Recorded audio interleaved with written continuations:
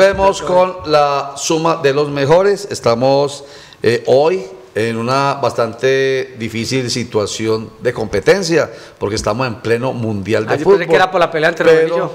Ah, no, no, es, es que, es que eh, el que quiera ver espectáculo, ni no que entre a la suma de los mejores y los vea ustedes dos discutiendo. está mejor que la inauguración y del. Mundial. Muy bien.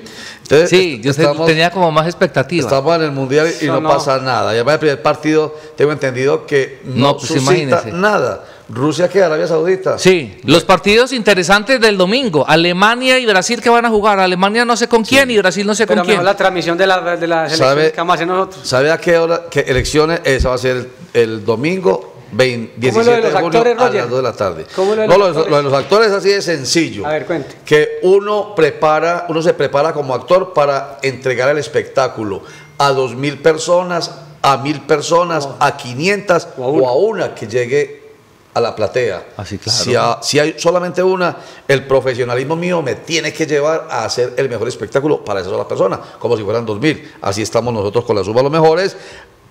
Este día, jueves, ¿qué día, día es hoy? 14 de junio. de junio, y también el 17 de junio, el día de las Días elecciones. difíciles con el Mundial, pero bueno. Sí, no importa. Eh, pero bueno, hay otro hecho a esta hora. Pero personalmente yo pienso que en buena hora empieza el mundial y se acaban estas elecciones tan Uy, cansonas, estoy tan mamado de las hartas. elecciones, mamado. ¿Por qué? ¿Por qué hartas y, canta- No. y canzones? Hombre, porque es que primero se han convertido en monotemáticas. Segundo, se ha dejado lo fundamental a un lado. Por ejemplo, eh, se hablan muy por encima de la transformación del sistema general en salud, de la, de, de la, exactamente, Mm. de la, de la mm, oportunidad que existe en este momento y análisis de incrementar la, la edad de jubilación. De Hombre, generalidades. eh, o sea, Pero yo creo, mi y, querido y hemos Rubén, caído, y hemos caído, y hemos caído en la campaña política en asuntos tan recontrachimbos como las abejas petristas, Eh, que ha sido lo más llegar, bochornoso. allá quiero llegar. O sea, la- las, o sea, ya nos hemos pegado De abejas y aguacates. De, aguacate, de la abeja petrista, de una cantidad de temas pero no es que han- culpa, no es responsabilidad, Rubén, De las mismas campañas. de las elecciones. No, de las campañas. Por eso es de muchas, de, de- de otro lado, las elecciones per se son maravillosas, es como el mundial. Mire qué casualidad, se me ha presentado la gran oportunidad. Siempre he dicho que como periodista político, nada más bueno para nosotros que cubrir unas elecciones, sean territoriales, regionales, sean eh, presidenciales o sean parlamentarias. Por supuesto. Qué maravilla, como los deportistas, pe- periodistas deportivos que esperan que llegue el día del Mundial de Fútbol para estar ahí al frente del Mundial de Fútbol. Lo mismo, y aquí está ocurriendo. Ellos felices allá cubriendo el Mundial, nosotros felices acá cubriendo lo que tiene que ver con las elecciones presidenciales. Por eso quiero decir que la culpa no es ni del Mundial si es malo, si el que llega a finales es Rusia por ser el, El eh, anfitrión. anfitrión, así tenga un fútbol muy malo. Eso no es problema del Mundial. Tampoco es problema de las elecciones que exista eso que acaba de decir Rubén. Es culpa incluso de nosotros mismos los, los medios de comunicación. Si nosotros somos felices haciendo parte de nuestra agenda lo que las redes sociales hacen, que es precisamente recurrir al miedo, a la desesperanza, a, las sensaciones y a toda clase de peleas insulsas, como esa de si hubo abejas o no hubo abejas, un evento del presidente, del candidato a la presidencia de la República y el expresidente Álvaro Uribe Vélez. Y para terminar y darle la palabra a usted, mi querido Juan Carlos, y que sea todo general, es responsabilidad nuestra. ¿Cuántos van a ir a las urnas este domingo a votar realmente porque está convencido sobre temas sustanciales? ¿Cuántos se cuentan en esta mano, creo yo? Hace rato no veía tanta parcialidad, no sé si el término está bien utilizado, Sí, parcialización sí, sí, sí. entre los medios de comunicación de todo el país. Periodistas con camisetas políticas puestas, periodistas invitando a votar por determinado candidato. Una cosa es la posición editorial de un medio y otra cosa es que todos los periodistas, los directores de medios, haciendo campaña por uno y otro candidato, demostrando cuando invitan a determinado candidato a una entrevista cómo es ese ataque hacia, determinado candidato, pero al que están apoyando lo tratan distinto.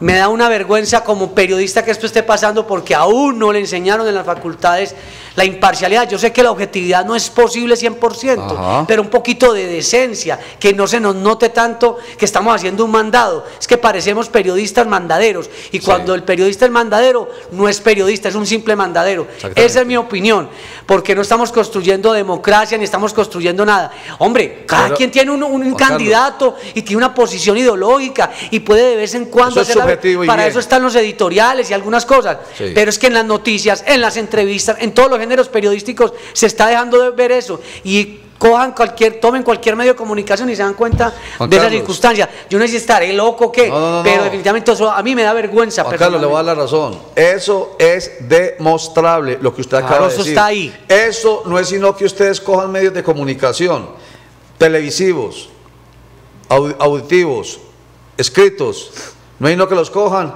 y empiecen a mirarlos con detenimiento, con indicadores, cuánto tiempo ¿cuánto? para este, qué expresiones Yeah. a favor de este, y se puede demostrar plenamente que eso que usted dice es muy cierto, demasiada parcialidad, cuando nuestra responsabilidad social es ser imparciales, sino objetivos que es muy difícil, muy complicado, sí, imparciales y buscar la verdad.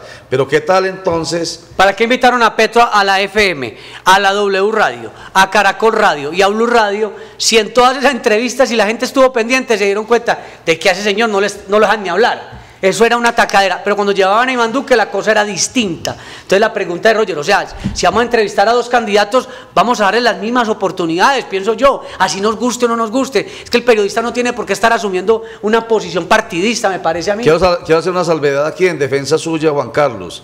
Es que, como lo conozco a usted y sé cuál es su pensamiento, eso que acaba de decir no es a favor de Petro, ni en contra de ¡Hombre! Duque. Ojo con eso. Ni- es más, ni no, siquiera- porque todo lo que se diga en estos momentos puede Estamos haciendo proselitismo, ¿no, hombre? Exactamente. Voten por el que ustedes no. quieran. A mí particularmente ni siquiera Por ejemplo, los dos candidatos me convencen. Por ejemplo, no me convencen nosotros nos tomamos la, la- la- permítame Rubén, para que, para que usted hable ya, a- para cerrar ese tema y quiere, pero nos Está tomamos. Rubén Darío, eh, perdón, Juan Carlos y yo nos tomamos el trabajo eh, este día en el programa de radio, que además estamos por 910 AM, Rubén. todo el ar, la estamos básica. por la voz del Río Grande. La básica. Sinergia informativa y gran ciudad. La suma de los mejores en radio está por 910 AM, la voz del Río Grande con toda la historia, toda la tradición y todo el Donde sonido. nació Como un cañón. Donde Como nació cañón. Rubén como periodista. ¿Allá nació Rubén? Sí. Oh, Rubén, qué maravilla. Y su jefe era Jorge Rubén, Carvalho. Oh, qué bien, me entonces me encanta. Noticiero todo el arte de Antioquia. Nos oye ni nos cree. Exactamente. Hace 22 años Entonces nomás. termino, termino el comentario. Hicimos el ejercicio de presentar, de acuerdo con una entidad X que la cogimos, que nos pareció interesante inicialmente el ejercicio, la Escuela Nacional Sindical, que entregó por internet las propuestas económicas de Gustavo Petro y las propuestas económicas de, eh, Iván, de Iván Duque. Las leímos, ta, ta, ta, hasta ahí la imparcialidad muy bien. Lea unas y lea las otras. Pero empezamos a ver, como nosotros somos periodistas y conocemos un poquitico más, que las propuestas de Iván Duque estaban de alguna manera cercenadas. O sea, no se habló de una cosa, ni la voy a mencionar acá para que no vaya ventaja sobre el otro. No se habló sobre una cosa de la que habla mucho Iván Duque, el tema económico, ni de otra cosa, ni de otra cosa. Y sí se habló de esas cosas en la propuesta de Gustavo Petro. Y uno entiende, ah, es que la Escuela Nacional Sindical. ¿Para dónde tira la Escuela Nacional Sindical? Se supone. ¿Para dónde? Para la izquierda. Exactamente. Entonces, uno la entiende petrista. Pero ahí, en el ejercicio particular de ellos, está muy bien que lo hagan. Lo que pasa es que nosotros sí tenemos una responsabilidad distinta y es la de intentar hacer que la información llegue lo más equilibrado posible. Muy bien, Rubén. Hágale, pues Rubén. Ustedes hablan muy bonito, ustedes- hablan muy bonito sobre el deber ser, Sí, sí. Pero en esta campaña sí fue más evidente que muchos medios de comunicación tomaron una postura política, como el tiempo que lo tomó por Iván Duque, como el espectador que lo tomó por el voto en blanco, y como el, en el caso del periódico El Mundo aquí en Medellín, que también, siendo muy liberales, hicieron la misma de César La Gaviria y fueron a parar completo. y fueron a parar donde Iván Duque. La el periódico El completo. Colombiano que ha sido La tan supremamente uribista hasta todos. que Ana Mercedes fue directora, fue muy uribista. sí. Falta ver la línea de Marta Ortiz, pues que ¿Pero qué se ha notado? yo creo que ha sido un poquito más mesurado. El periódico Ah, sí. El Colombiano ha estado un poquitico mucho más mesurado. Ahora, es la primera vez, repito, que los medios de comunicación a través de sus editoriales, de sus editoriales y a través de algunos columnistas y legitimadores y, e influenciadores de opinión han tomado una postura sobre diferentes eh, candidatos. vez. La Pero vez. la pregunta es, ¿cuándo no ha pasado? Siempre ha pasado. Lo que pasa es que primero esto. se hacía, se hacía con más disimulo. Lo que pasa se hacía con, más descarado. con más doble moral, Yo con diría- más doble, con más lo doble moral. más descaro. No, yo diría lo siguiente.